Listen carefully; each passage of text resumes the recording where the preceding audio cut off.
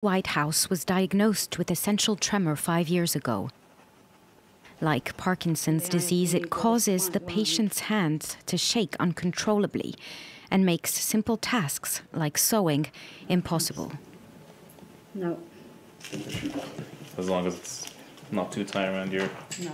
A group of volunteer students and graduates have designed a glove which uses the laws of physics to control tremors mechanically.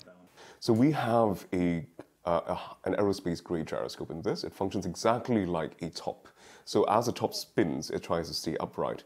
So in the same way with this, the glove actually counteracts your hand tremors immediately and instantaneously. So as you shake, it automatically cancels out the shakes. I've done it! oh, wow! Patients report that wearing the gyro glove is like plunging your hand into thick syrup, where movement is both free and slow. Yeah. I haven't, I haven't been able to do cross stitch for since I got the damn thing. The product could help an estimated 200 million people suffering from the same condition as Sue.